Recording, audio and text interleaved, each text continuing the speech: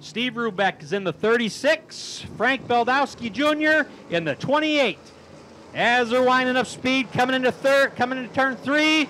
Here they come, here they come, here they come. We're grudge racing for three laps. Green flag.